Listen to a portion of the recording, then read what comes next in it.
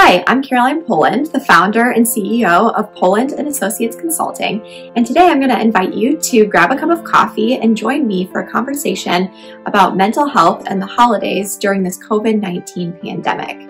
And certainly holidays are a time of a lot of emotions uh, across the board, and we know that uh, mental health can really suffer during the holiday season. And now we are in new times with this COVID 19 pandemic. And so I wanted to specifically address some of the shifting emotions and the unique situations that we find ourselves in during this pandemic.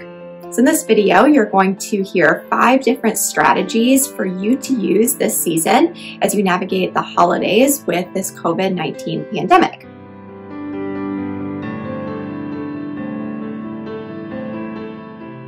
My next strategy as you enter this holiday season is to set healthy boundaries. Again, this ties into knowing your why and your values. When we talk about boundaries, what we're talking about is saying yes and no wisely for yourself uh, and being responsible for the things that are within your property to be responsible for. So what are we responsible for? We're responsible for our thoughts, our feelings, our emotions, and the responsibilities that we have chosen to take on in our lives. And when things are outside of those, those things, then those things are outside of our property or our area of ownership. So when you think about this holiday season, what does it look like to own or take responsibility for your thoughts, your feelings, and your emotions and your reactions. What do you want to say yes to and no to wisely? With boundaries, what we're not doing is saying yes or no out of guilt.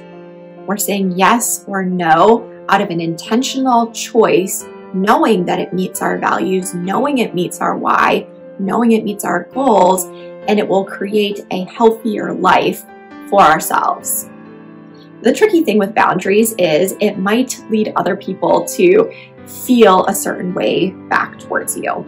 Again, that's their feeling, that's in their property, their area of ownership. So we are not responsible for the feelings of other people. We're responsible for our actions. And so we want to always check uh, back with ourselves to make sure that we are truly being responsible for ourselves, but we are not responsible for what other people think about us. We are not responsible for the version of us that they've created in their minds. We're not responsible for making them feel happy with you or any other way when it comes to the choices that we're making during this holiday season or otherwise. And so, uh, if you are choosing to stay home this holiday season and your family is upset, what yours is to do to own is what's in your property, your thoughts, your feelings, and your actions. And what is not yours to own is how another person responds to those things. Suzanne Stabile, who is a big name in the Enneagram world, has a question that I really love, and it is, what is mine to do? And I go back to that a lot myself. What is mine to do? my thoughts, my feelings, my actions, my reactions, meeting my responsibilities, living life according to my values, intentionally thinking through things and regulating. Those things are all in my property. So I would encourage you to sit down now as the holiday season is starting and look at your boundaries, look at your thoughts, your feelings, your reactions. Check with yourself, what is mine to do this season? And what is mine not to do? What can I release? When we choose to release things, when we choose to say yes and no wisely, ultimately what we find is a sense of freedom in our lives because we're able to live with integrity, with vulnerability, and own ourselves for who we are instead of having to live as an edited version of ourselves to make someone else happy. All right, so boundaries can get a little heavy, and I know that there's a lot more that we could say about that. So let's pause and take a nice big drink of coffee and take a moment to just be present in your body. Take a nice deep inhale and exhale.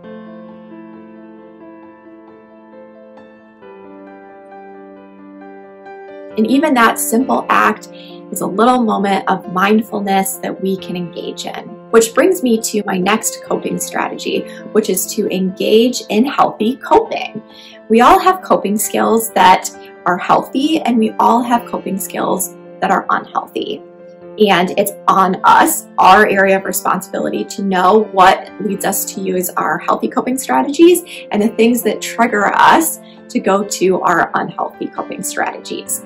So again, things can be both and they don't have to be always healthy or always unhealthy, but the same thing like enjoying a TV show with friends might be unhealthy when we're sitting in front of the TV all day, just numbing out so that we don't have to feel or be present in our bodies.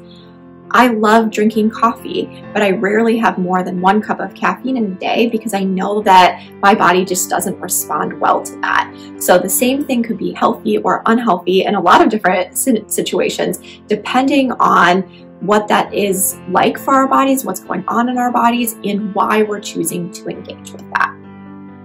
So Utilize your healthy coping strategies, those things that are within your area of responsibility that you can do and utilize that meets that bigger why that aligns with your values that allows you to stay healthy and not go into hypoarousal where you're shutting down, you're disconnecting, you're dissociating. Um, we want to just make sure that we are present in our bodies, that we have that sense of feeling and groundedness within us, that mindfulness, and that we can live life from our prefrontal cortex in that engaged and regulated way. And to tie into healthy coping strategies, my next strategy is to get outside into nature and just move. And this doesn't have to be a prescribed way of doing that, but we know that nature is one of the most psychologically healthy things for us to engage in. And moving our bodies also helps us to relieve some of that stress and frustration or anxiety that can build up. It kind of metabolizes it and moves it through our bodies. And so as the days get shorter and as we get stressed and we just want to hunker down or disconnect, we want to make sure that we are in a safe way getting outside and moving. So whether that's hiking in the woods or just going for a quick brisk walk at some point in the day or, you know, even just doing a quick body weight workout inside, uh, making sure that you're taking breaks and walking to the window and just looking outside and being present in your body as you do that. That can make a big difference. Now, again, this is not going to change the reality of what's going on. And when we talk about healthy coping skills and when we talk about boundaries and some of these other strategies that we've talked about, it's not that these things magically change our situation to make them easier or better, but it allows us to move through them to stay in that window of tolerance, like I've talked about in other videos, and I will link that playlist above so that if you're interested in learning more about the window of tolerance, you can find that there.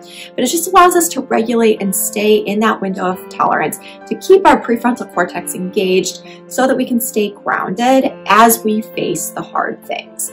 So again, even with coping, it's kind of a both and, a nice shade of gray where we can cope and regulate and enjoy nature and move our bodies and we can still have other emotions. We can still experience hard things, and one doesn't have to take away the other, but instead we can hold both together and hold these opposite things that are both true in our reality together. I know this season is hard and there's grief and there's loss and there's confusion and uncertainty and cases are rising across the country and we're just trying to figure out how to balance all of the things that we want and we need in our lives. And so the best way that we can do that is by staying healthy as we decision make by staying regulated and being creative about the ways that we can continue to meet the things that we need to do to stay healthy. So let me encourage you to be creative as you engage in this unique holiday season. And remember, this is just temporary. This isn't going to last forever. And so we can do the hard things that we need to do now so that we can ensure that we have decades still with our family and our friends to continue to engage in fun and connection over the holidays. You can find me on Facebook and Instagram at Poland and Associates and my website polandandassociates.com. And if you head to my website, you will find a form that you can fill out so that we can begin working together.